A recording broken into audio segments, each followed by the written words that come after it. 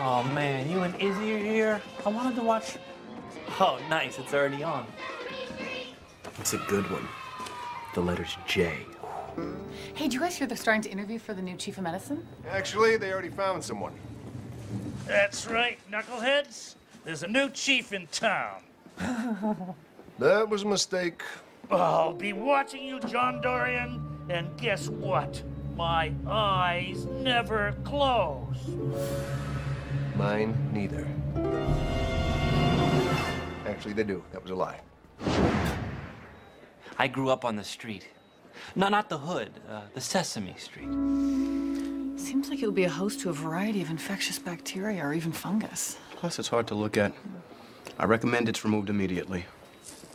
Forget it, you guys. I'm keeping the beard. Chicks dig on the extra fuzz. Tell me about it. And you've only got it on 2% of your body. Hey, what is up, guys? Can somebody give me a high four? Coming at you. Near! Oh! Far! Oh! Grover 5. She's got to learn how to show some compassion. I'm throwing her in the deep end. There's got to be a better way to teach that. Oh, Elmo would love to help.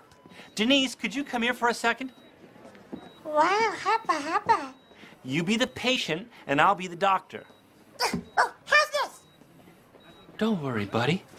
I'm gonna take care of you. Elmo knows that together we can get through this.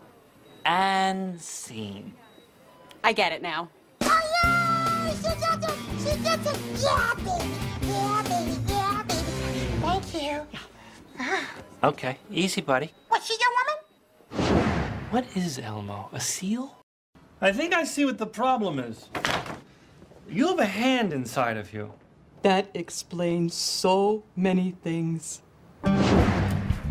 Dude, been having fantasies about Muppets all day too? No, I'm straight. That's just uncalled for.